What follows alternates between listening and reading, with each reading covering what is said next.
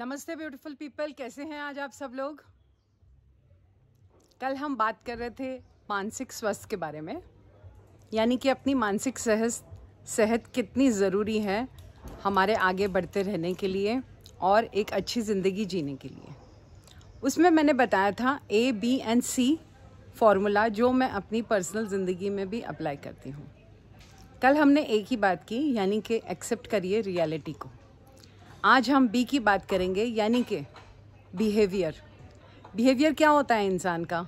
जो वो करता है, जब हमारे ऊपर कोई प्रॉब्लम आती है, या हमारा डे टू डे एक बिहेवियर होता है, जो हम करते हैं, जिसकी सारे असर हमारी पूरी ज़िंदगी पे पड़ते हैं। जब हम रियलिटी को एक्सेप्ट करते हैं, इसका मैं एक एग्ज़ाम्पल देना चाहती हूँ। एग्ज़ाम्पल से आपको एकदम एग्जैक्टली exactly समझ में आएगा कि कैसे हमें क्या करना है। यानी हमारा बिहेवियर कितना इंपॉर्टेंट है? समझो कि जैसे इस बार कोविड की वजह से भी कई लोगों ने अपने प्रियजनों को खोया है प्लस वैसे भी अपनी लाइफ में हम लोग कुछ ना कुछ कभी जैसे किसी का ब्रेकअप हो गया या किसी की हमारे स्पाउस की डेथ हो जाती है, या हमारे कोई फैमिली मेंबर की डेथ हो जाती है, या हमारे ऊपर बहुत बड़ा एक कोई प्रॉब्लम अलग से आ जाता है, जिसकी वजह से हमें समझ में नहीं आता कि हम आगे इसका सॉल्यूशन क्या ढूंढें। हमें पता ही नहीं होता कि इसका सॉल्यूशन क्या है। बिल्कुल समझ में नहीं आता कि क्या करें। उस समय हमें क्या करना चाहिए? यानी उस समय हमें बिहेवियर काम आता है। जब हम रियलिटी को एक्सेप्ट करते हैं, यानी कि ये रियलिटी है और अब हमें इसे सॉल्व करना है, तब हम अपने दिमाग को शांत करते हैं और हमारे इमोशंस को अपने कंट्रोल में लाते हैं। जब हम अपने दिमाग को शांत रखेंगे और अपने इमोशंस को कंट्रोल में लाएँगे तब हमारी सोचने समझने की शक्ति, यानी हमारी मेंटल स्ट्रेंथ बढ़ेगी और हम कुछ अच्छा डिसीज़न ले पाएँगे, अच्छी चॉइसेस कर पाएँगे।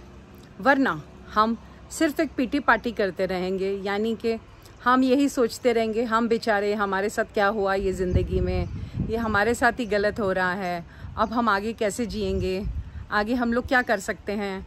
इसका तो कोई सॉल्यूशन दूर दूर तक नज़र नहीं आ रहा। इसी वजह से हमारा बिहेवियर बहुत ही इंपॉर्टेंट होता है जब हमें अपनी ज़िंदगी में डिसीजंस लेने होते हैं आगे के।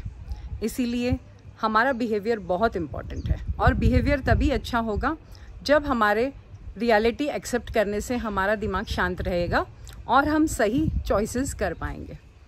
यानी कि हमें अपना दिमाग वैसे रखना है और हमें ये ऐसी चॉइस लेनी है जो एक प्रोडक्टिव हो।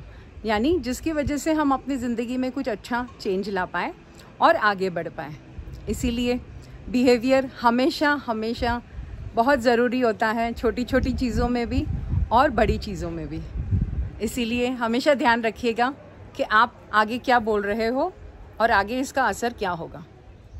थैंक यू वेरी मच अगर आपको मेरे वीडियोस अच्छे लग रहे हैं तो please like my videos and share with your family and friends and also subscribe to my channel which is Malika Sharma and please press the bell icon for the immediate notifications of my videos.